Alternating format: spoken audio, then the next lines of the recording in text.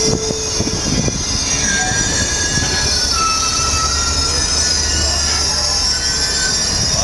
care there, buddy. Look after your grandma and grandpa, eh? Okay.